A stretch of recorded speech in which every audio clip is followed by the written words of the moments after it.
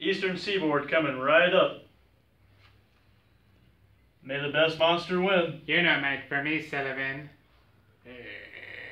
Uh, you know you're still behind Sully. Just give me another door. Uh, another door? Did I stutter? Give me another door. Well, Jerry, what's the damage so far? Well, sir, we might actually make our quota today. Hmm, first time in months. Yes, sir. We lost 58 doors this week.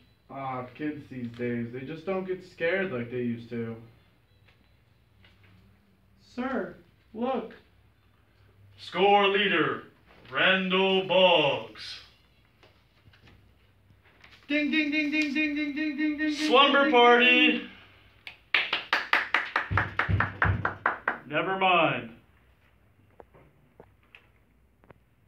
Ah, what a day. We're just going through a rough time, sir. Everyone knows you're going to get us through it. Ah, tell that to the board of directors.